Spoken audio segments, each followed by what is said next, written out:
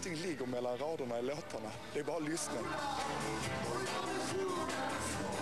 Det är som Kalle säger att rock'n'roll kan ju, inte bara, kan ju bara sjungas på tre språk.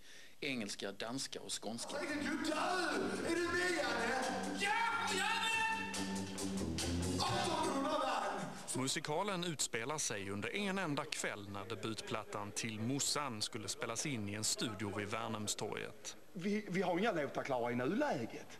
Har ni inga låtar? Nej, nej, nej, Du nej. spelar in en skiva ikväll. Precis. Men, Han är väl rätt så tagen av det här, va? för det här är ju en ganska eh, vild tillställning va? och oerhört eh, kaosartad och ingenting är förberett. Va? Och det blir ju ändå en fantastisk skiva.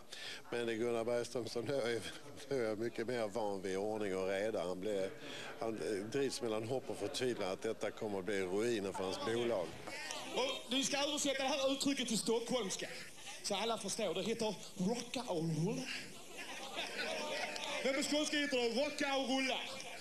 Carl Pedal är fortfarande älskad 27 år efter hans död. Han har numera både ett pågatåg uppkallat efter sig och en egen gata i Arlöv. Och trots den extremt breda skånskan slog han även på andra håll i landet. Jag följde honom på avstånd för jag hade flyttat till Stockholm när Karl eh, Eh, slog igenom. Va? Så att jag eh, följde honom med skräckblandad förtjusning. Va? Naturligtvis, eh, man håller ju alltid på folk hemifrån. Och det gjorde jag ju också. Många i Stockholm rynkade nog på näsan från början just det här med, ja du vet, sjunga på, på skånska. Fan, det är gojigt. Men så upptäckte ju alla att det, det är, alltså skånska är ju rock'n'roll. Han har ju fans i Boden. Det är en hockeyspelare som berättade att ja, Kalle han är stor hemma i Boden. Alltså det, det liksom blir helt fantastiskt. jag vill sjunga en sång.